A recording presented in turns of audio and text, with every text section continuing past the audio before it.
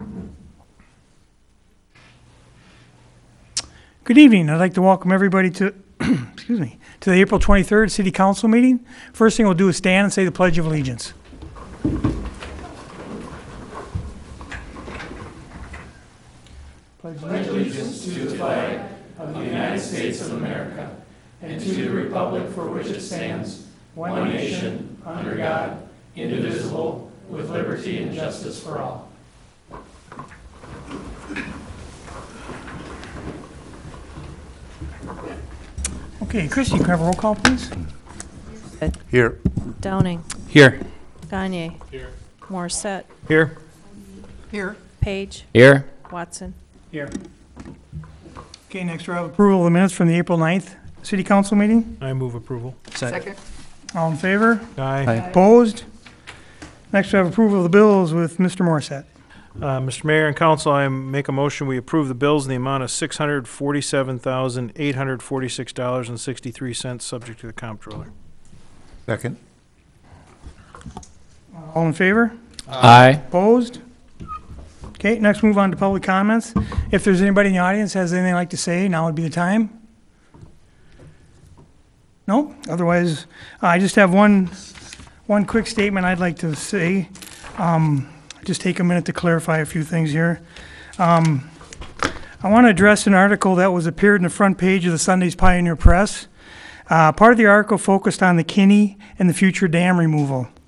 I want our council members, residents, community partners, and visitors to know that there are some concerning issues with the article. There are some statements contrary to those included in final reports prepared for the Kinni Corridor project by consultants and their project partners.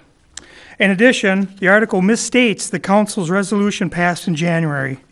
If you read the article and were puzzled or upset, as some of us are, by the assertions, quotes, and misinformation, and I invite you to visit our project website at kinnicorridor.org for more reliable information. I am disappointed to have learned that much of the Kinni-related information for the article was supplied almost exclusively by one of our city council members. The reporter has shared with staff that he was under the impression that the city council member was acting as a spokesperson for the city. This, of course, was not the case, or nor, nor should it ever be the case. Council members are always free to speak their mind, but should be mindful that they do not and should not speak for the city unless directed by the mayor or the city council. I want you all to know that I plan to respond to the Pioneer Press with our concerns. To those of you who have been part of the po- planning process over the past two years, and for those of you continuing on as part of the Kinni Corridor Collaborative, I want to thank you for your respectful cooperation. I am proud of how the community came to consensus around the issue of dam removal. I am proud of the plan we worked so hard to create. This is the accurate depiction of the project and the plan moving forward. So thank you for the time. Okay, next, on. Mr. Mayor, I have uh, one public comment.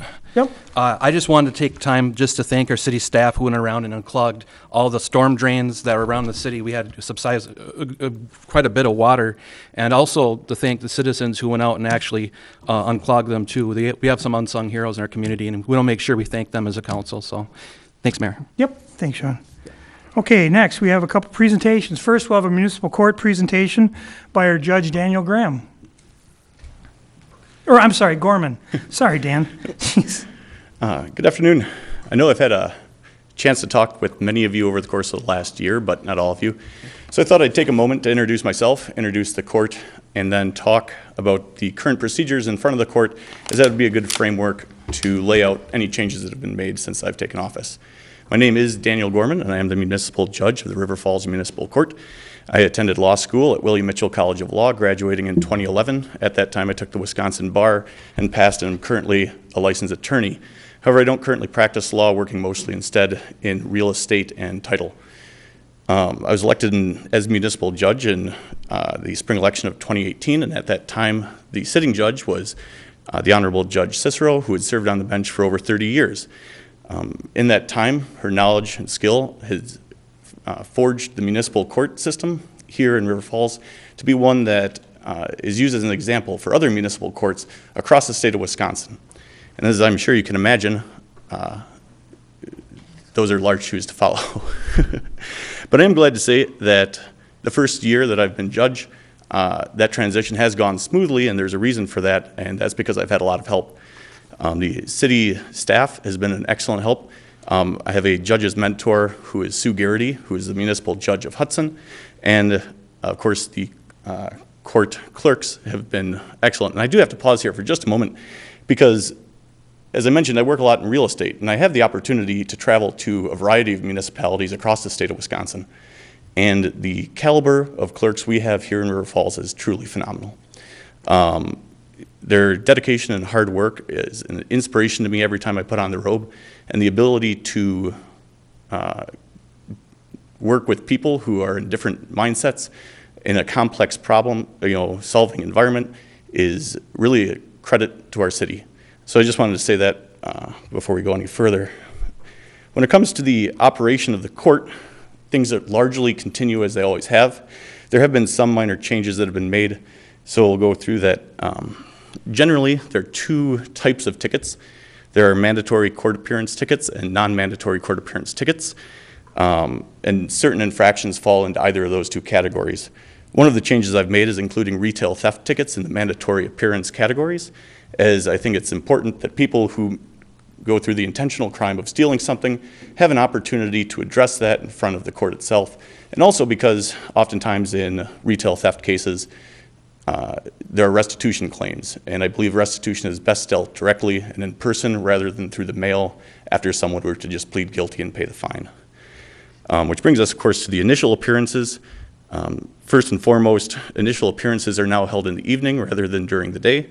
I think that's a general service to the community because uh, most people can't afford to take time off work in order to address their claims in court, and having evening court, for the most part, removes that obstacle from use of our judicial system.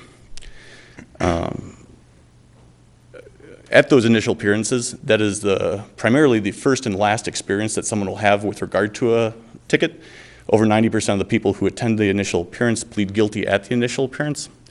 Um, And uh, the few remaining people will go to uh, pretrial conference with the city attorney, and the vast majority of them will plead their case there.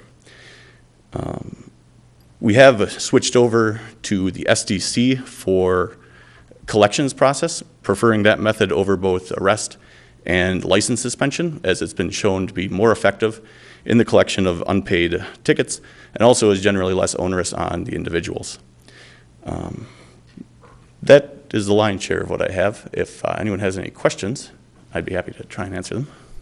Yep. Has there been any other major procedural changes that have occurred um, since you've taken the role as municipal judge uh, that are notable compared to what it, u- how it used to be ran? No, I think the largest one, well, actually, there are two. The largest one, of course, is changing it uh, to an evening court rather than the day court, as that has required some changing of staff uh, requirements, because of course they have to be here in the evening. Um, The other one, we did add a second juvenile court date for initial appearances, because the uh, Wisconsin statute says that those have to be dealt with in 30 days. So if you only have one in a month, that means that depending on when the ticket is written, uh, they might have to show up to court the very next night uh, in order to comply with the 30-day limit.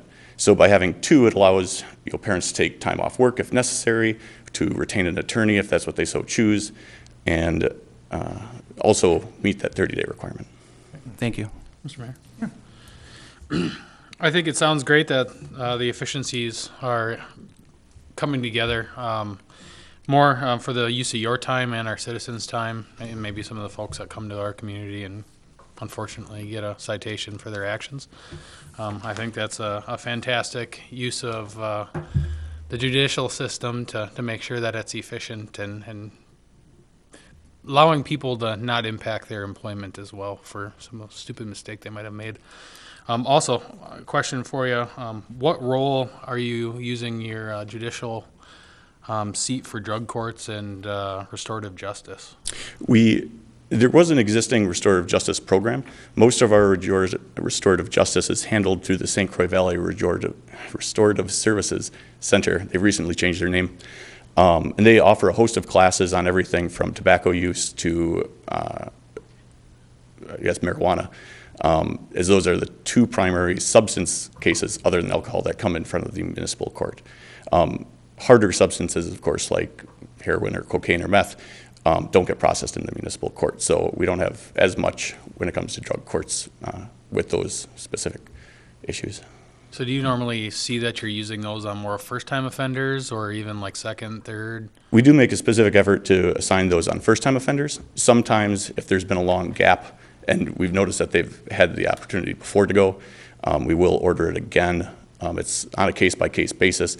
And to an extent, as you mentioned, some people come in from far-flung places, so their ability to go to a restorative justice course in River Falls on a given weekend uh, would be a pretty substantial burden on them. So we don't always use it, but when justice so requires. No, I've actually, the reason I asked this uh, restorative justice question is I personally had uh, uh, a girl break into my house some years ago, and we went through the um, municipal court and restorative justice, and I really like that impact of, like you said, bringing somebody before the court, but in this case, bringing that person before their uh, uh, victim, and then the community members that actually get to kind of talk about how that impacts all the different levels and how it could have impacted you even further. So Oh, and absolutely. I, I like to see that the court's still using those programs. Mm. And that, I think, is the primary purpose of the courts in general, is, you know, I mean, many of the cases that come before us are relatively minor compared to the cases that might show up to the circuit court. And uh, the municipal court largely serves as a reminder to people of the standards of conduct that, you know, we've set out. So the ability to address that in person, in a formal manner, I think has, in fact, a lot of restorative and beneficial uh, results on those people as well, so. Thanks. Anybody else have anything for him?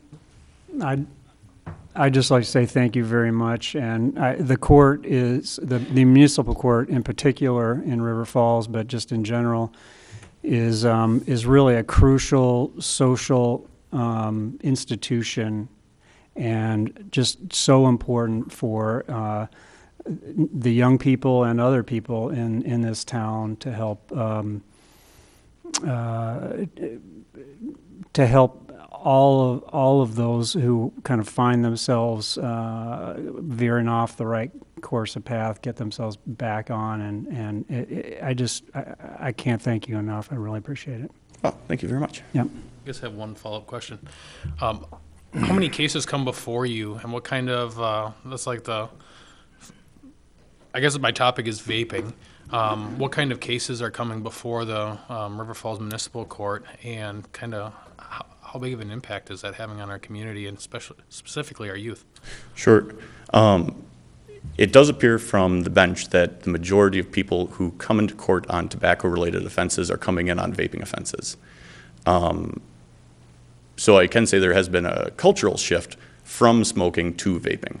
Um, I don't know specifically historical trends, um, but we normally get, I would say, one per initial appearance, sometimes two in that sort of range. So I wouldn't say that it's so far been a chronic issue, um, in the sense that it's something that we're seeing in great abundance, you know, every time we have an initial appearance. But it's certainly uh, something to be aware of in our community in general. Awesome, thanks. Okay, thanks, Judge Gorman. Thank you. Okay, next presentation. Um, we got a bunch of students here from, uh, uh, UWRF, uh, Professor Neil Kraus's political science class. Uh, they're gonna give us two presentations. One is, actually, Brant, you could probably explain this all better than I can. Yes, uh, good evening, Mayor and uh, members of the City Council. So tonight, before you, we have two groups from Professor Neil Kraus's political science class. Um, I can't remember, what's the political science class title?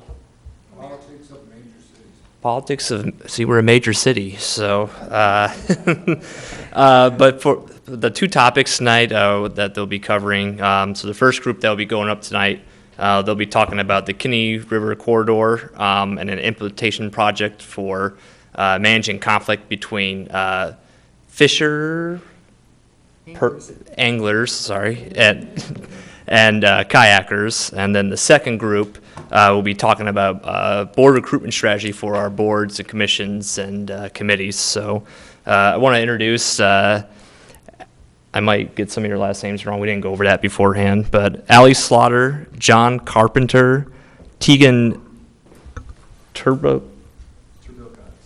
Thank you. And then I'm probably going to mess this one up. Cloris. Okay. so uh, please welcome them up here.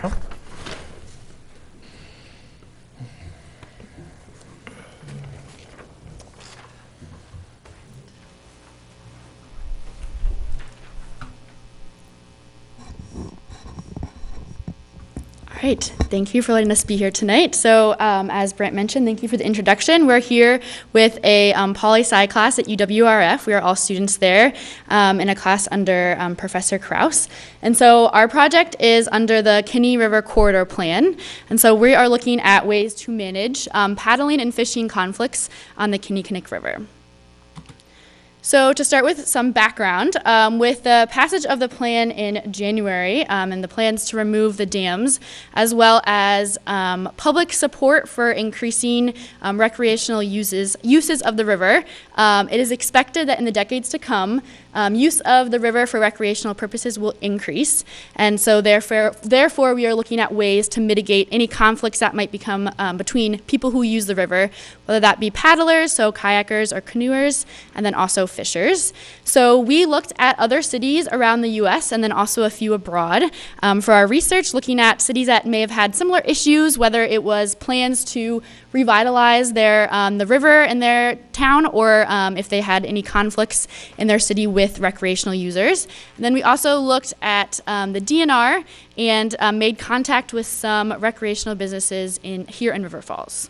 Um, so we have a set of recommendations um, on ways to mitigate that conflict, and then we also came up with some mock materials as sort of some um, thoughts and guidelines of what we were talking about. With the expected increase in recreational use following the removal of the dams, these are our recommendations, as she said.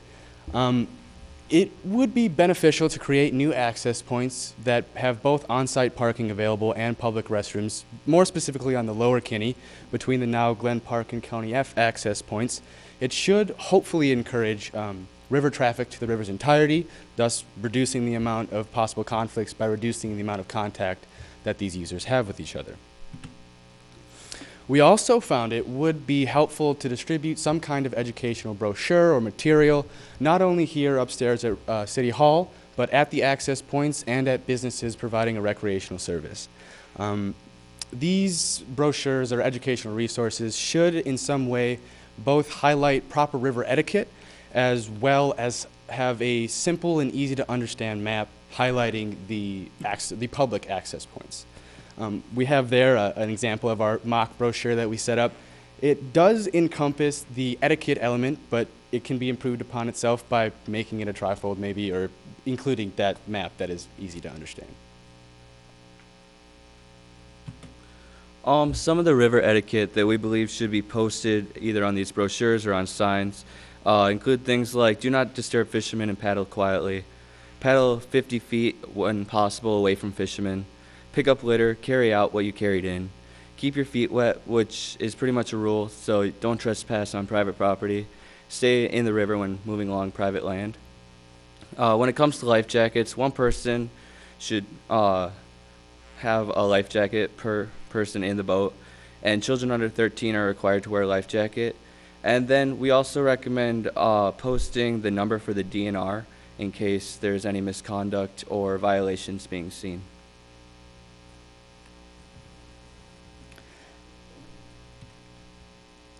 Lastly, we would like to um, propose that more information would be added to the Living and Visiting tab on the River Falls website to help not only people from the city of River Falls, but people like tourists from other cities, um, and highlight in that page uh, the proper etiquette for the use of the river.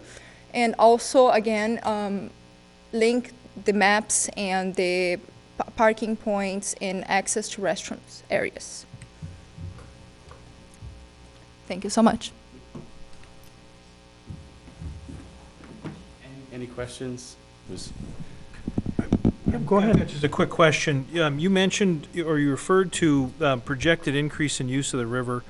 Um, I think intuitively we all know that that's probably going to happen, but is there, are there any sources that you can point to in your research, or are those just intuitive and based on the plan? It, or it was, it was mostly based on the plan, and, and Brant also mentioned it a couple of times that it was expected to increase, so we just took it as it was.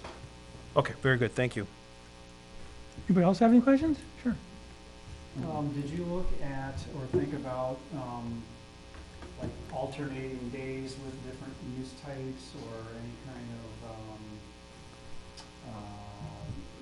systems that might, are there other, other rivers where, you know, that type of approach has been taken?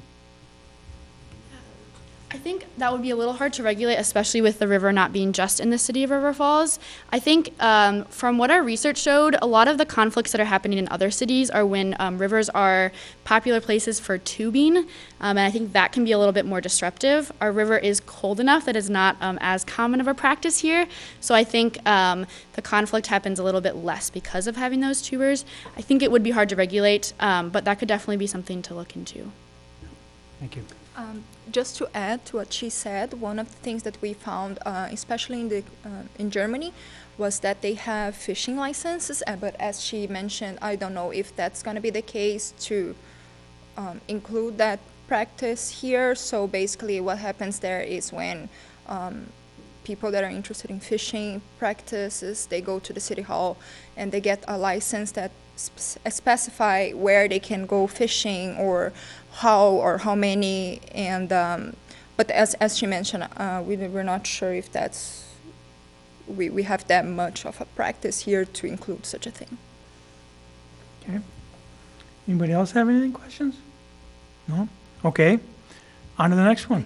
Thank you very much. Yep, thanks, Thank guys. you. You did a- That was a good job.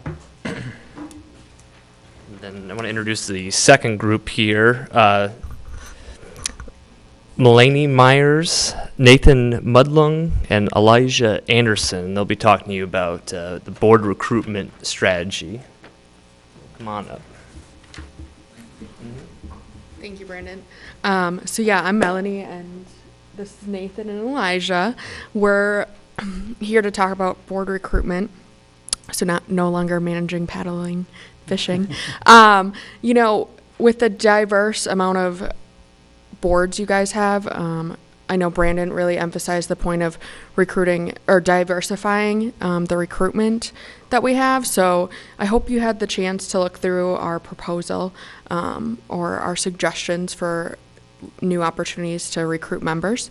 Um, but one thing that I thought a lot about was recruiting students. Brandon mentioned that recruiting students for the library board was of interest, and I think exposing students to the idea that they can go to the public library, not just our university library, is a um, great opportunity to get River Falls students more involved in the community.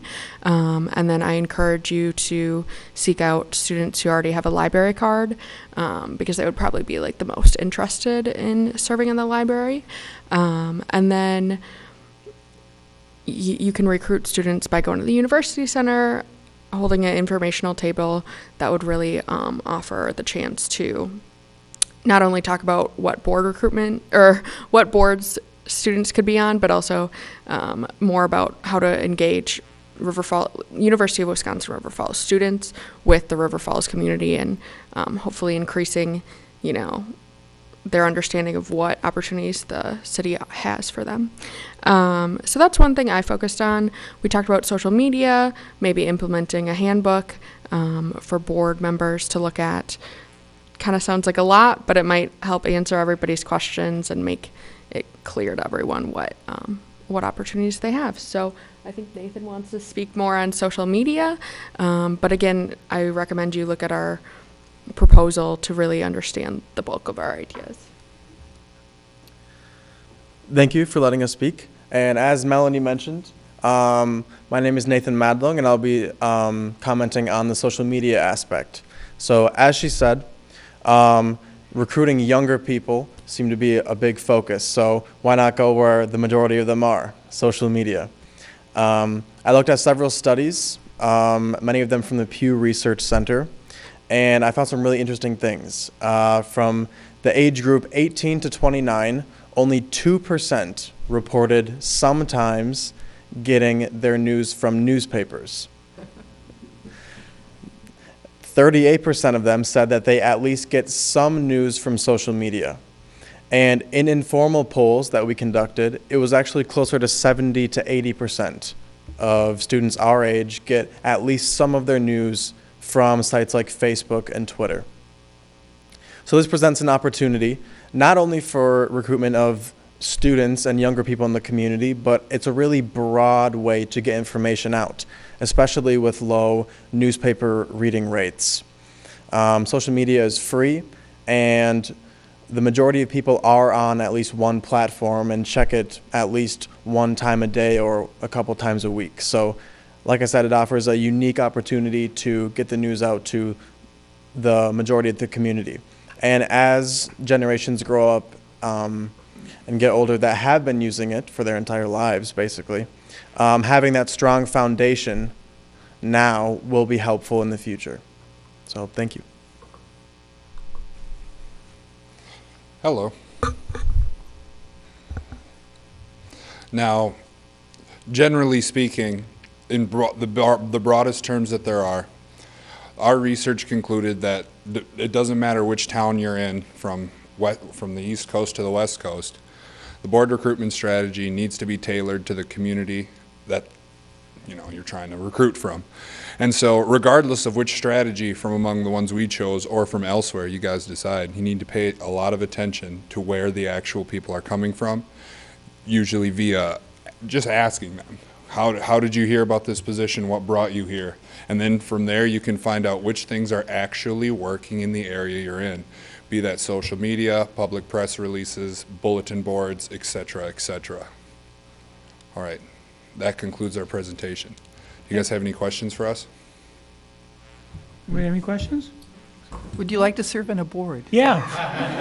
That- Send, send me an email. Thank you. Th- Thanks, guys. You did a great job. Appreciate it. Okay. So we'll move on to the consent agenda. Uh, First, we have acknowledgement of the following minutes. We had the EMS Advisory Board from uh, 314. We have the River Falls Housing Authority from 313. We have the Historic Preservation Commission from 313. We have the Planning Commission from 35. We have the Bid Board from 312. We have the Park and Recreation Advisory Board from 220 and 320. We have the Utility Advisory Board from 318. Uh, we have Powerful Choices from 314, and we have the West Central Wisconsin Biosolids from 228. And then the next one is a resolution designating the official city um, newspaper. Um, So we're required each year to advertise for bids on the newspaper, and uh, River River Falls Journal obviously was the only bidder. So this uh, re- resolution would award them the, the um, official newspaper. Anyways, resolution approving bid for the 2019 sanitary lining project. Uh, This resolution would award the bid to the Visu Sewer Incorporated. Uh, Next one is resolution awarding bid for 2019 route and seal program. Uh, And this, this resolution would award the, uh, the bid for the 2019 sel- uh, route and seal program. Does anybody want to pull anything? Mr. Mayor, I'd like to pull uh, consent agenda item number six, resolution approving bid for 2019 sanitary lining project. Anybody else? Otherwise, I'll entertain a motion for the rest. Mr. Mayor, I move for the approval of the consent agenda number four, A through I, number five, number seven. Second. Questions or comments from anybody? All in favor? Aye. Opposed?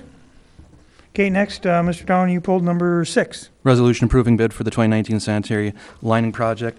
Um, I just have one quick question, and um, it talks about how the process reveals any pipe segments that might need repair.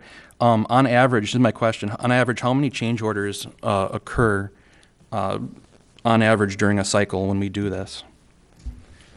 I don't know exactly how many change orders per se, but I do know, for example, this year we have $174, $175,000 in the budget, and this is for 100,000. So we did leave a little money in the budget in case we do discover more uh, clay or other types of lines that need work throughout the year. So last year, I know we added a few on as well as the year went on, um, but I don't know exactly what the dollar amount was for those change orders. But we do leave some money in the budget, Sean, for things we will, we will discover yet this year. So it's ample room in the budget for it? There is, yes. Okay. Thanks, Kevin. Mhm. Uh, Mr. Mayor, I make a motion to approve resolution approving bid for 2019 uh, sanitary lining project. Second. Questions or comments? All in favor? Aye. Opposed? Okay, next move on to uh, the the administrator's report. Um, If anybody's got any questions for Scott? Or Scott, if you want Couple announcements. Um, s- the River Falls Passenger Trail update, uh, pra- passenger train update from the St. Croix Valley Rail Group is tomorrow, April twenty-fourth, seven PM at the River Falls Public Library. Um, we do have a staff member that's planning to attend, um, that can provide an update to the council, um, but certainly the council is welcome to, uh, to attend if they're interested in that information. Wings of Spring World Migratory Bird Day, um, sponsored by the St. Croix Valley Bird Club, is Saturday, May 4th, 8 to 12:30 at City Hall. Um, there's more information on the city's website under the community calendar. Uh, May 13 to 18 is the spring cleanup for city residents. Spring cleanup runs Monday through Friday of that week, May 13th to 17th, and it's 4 to 8 p.m. in the evening each of the weekdays. Saturday is May 18th, 8 p- uh, 8 a.m. to 1 p.m. Um, I, I don't have a real great idea for folks about when the busiest times. I've in my 10 years living here, I've tried to go different days, times, and combinations, and it seems to be um, busy all the time. So Well attended. it's well attended. So uh, some of you council members, I know it's your favorite event of the My absolute of favorite the, of the year. Um, uh, this is a service that's paid for by you, uh, paid for by residents on their utility bills, and we certainly would encourage city residents to take advantage of the service that they've paid for um, and spruce up uh, um, spruce up their yards and uh, garages, sheds, and other things. Um, and certainly, we'd ask again that neighbors are helpful to their their neighbors. I know this is a good time of year to find a neighbor that has a pickup truck. Um, see if you can borrow it uh, or share loads. That also helps cut down on the lines at the at the site. So if you've got three or four neighbors that are all planning to take two or three items, you might want to just uh, um, throw it all in one truck or trailer and head down. It keeps the lines moving a little bit faster. So um, there's more information on the city's website and under uh, if you look up spring cleanup for city residents. There also is a fall cleanup now that's offered, um, but why wait for fall when you can uh, get that get those items now? I'd be happy to take any questions you might have. Mr. Mayor? Yep. I guess my question's for uh, Kevin. Do we have uh, um, any kind of stats as far as the electronics um, collection? How many uh, Yeah. residences? Yeah, I did talk to Mike Noreen on Monday morning about that. It was just under 300 people who participated in that. I don't have a tonnage. He said they had to call for an extra truck late in the day. So they filled up their one truckload and they had a backup truck, and it was just under 300 people participated in electronic recycling. Fantastic. Good. Okay, nothing else, then we'll move on to the comptroller's report.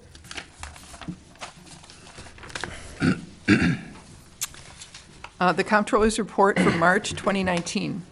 General fund revenues through the end of March were $3,471,120 and included $38,780 in recreation program revenues, as well as building permits of $67,716. Um, Part of that was the River Falls School District construction. Expenditures for the same period were $2,236,451, or 21% of the annual budget, for a net of revenues over expenditures of $1,234,670. Thanks, Dan. Okay, next, I got some announcements. We got uh, four different proclamations to read.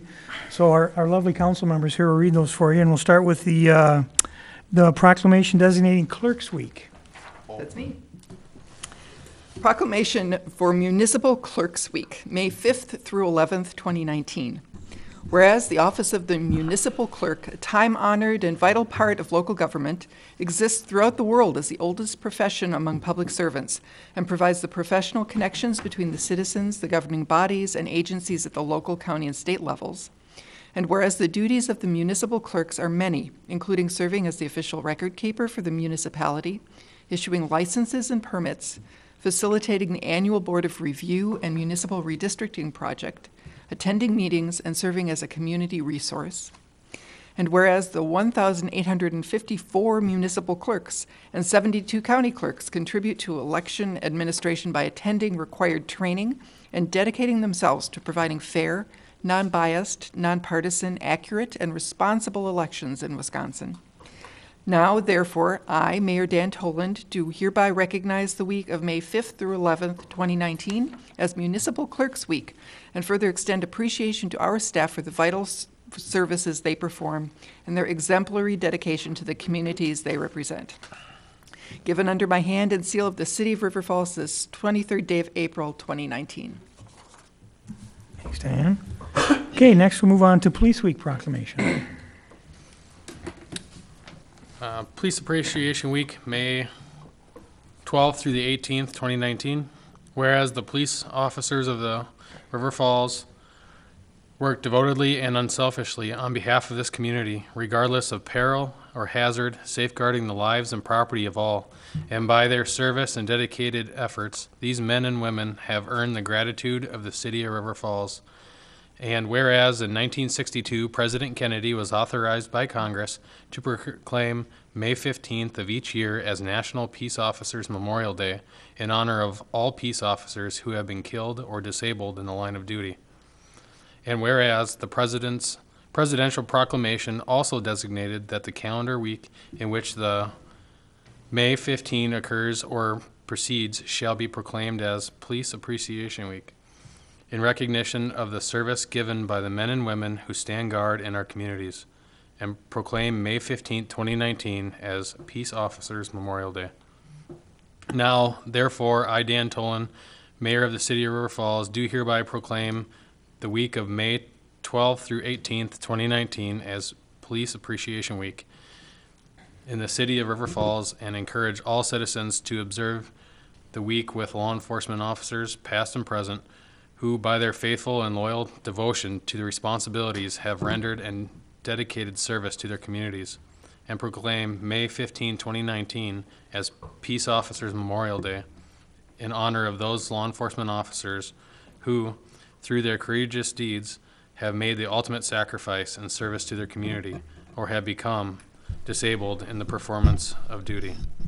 Given under the hand and seal of the mayor of the city of River Falls this 23rd day of April 2019. Thanks. Okay, next we'll do the Arbor Day one. Proclamation, Arbor Day 2019. Whereas trees are a vital resource that help to conserve soil and energy, filter our air and intercept stormwater runoff, create jobs, provide wildlife habitat, and make our countryside more livable and beautiful. And whereas human activities along with acts of nature threaten our trees, creating the need for concerted action to ensure the future of our rural and urban forests, and whereas each year on the last Friday in April, Arbor Day, people across the country pay special attention to the wonderful treasure our trees represent and dedicate themselves to the continued health of our forests. Now therefore be it resolved that Mr. Dan Toland, Mayor of the City of River Falls, do hereby proclaim April 26, 2019 to be Arbor Day in the City of River Falls, Wisconsin, and urge citizens to become more aware of the importance of trees and to participate in tree planting programs to ensure a healthy and green city and an inheritance for future generations. Given under Mayor Toland's hand and seal of the City of River Falls this 23rd day of April 2019. Thanks. Okay, and last but not least, we got the Rotary.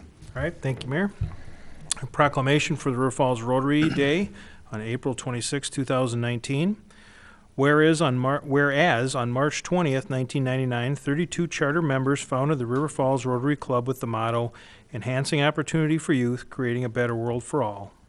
And whereas the Rotor- River Falls Rotary Club helps fund many organizations and projects that benefit the community, including the Sunshine Fund, Turning Point, and several student scholarships and other scholarships. And whereas the River Falls Rotary Club provides community service through volunteering in the schools, participating in community events such as Relay for Life, River Falls Days, and Kinni River Cleanup. Now therefore, Dan Toland, Mayor of the City of River Falls, does hereby proclaim April 26, 2019 as River Falls Rotary Day in honor of the Rotary's 20th anniversary, its service to the community, and its goals to create opportunities for youth and a better world for all. Given under his hand and seal, the City of River Falls, this 23rd day of April 2019. Thank you. Okay, next, we're going to recess into closed session per Wisconsin State Statute 19.85 1E E for the following purposes. Deliberating or negotiating the purchase of public properties, the investing of public funds, or conducting other specif- speci- specified public business, whenever competitive or bargaining reasons require a closed session. Mr. Mayor, I move we recess into closed session. Second. Christie, can we have a roll call, please? Watson, Yes. Page, Yes. Bjerstedt. Yes. Morissette, Yes. Gagne, Downing, Yes. Odeen. We're closed session then.